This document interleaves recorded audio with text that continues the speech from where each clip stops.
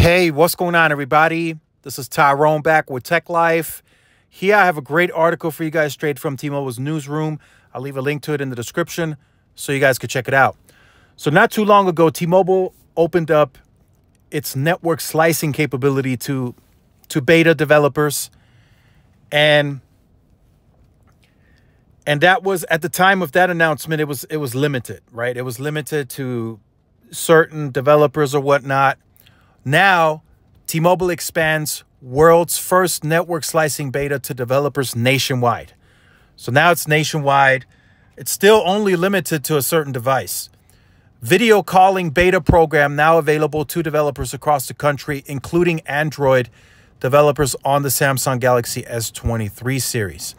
So it seems like it may be only available now for the S23, but we'll see here. No matter how you slice it, Un-carrier customers come out on top.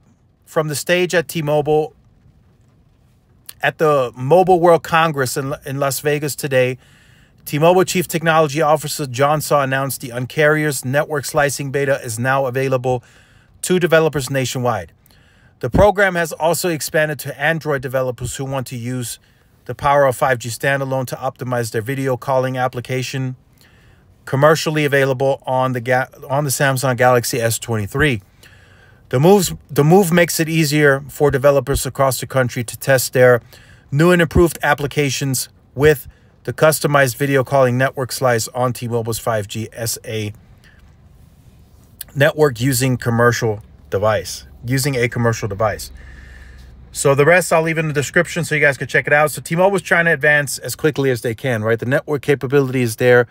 Developers, of course, will have to make use of it on, on, on their end.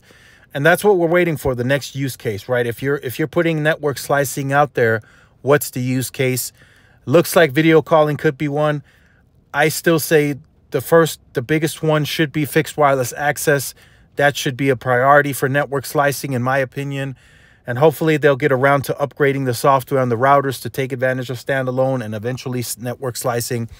I just think it'll it'll make it a, even a better experience for fixed wireless access customers.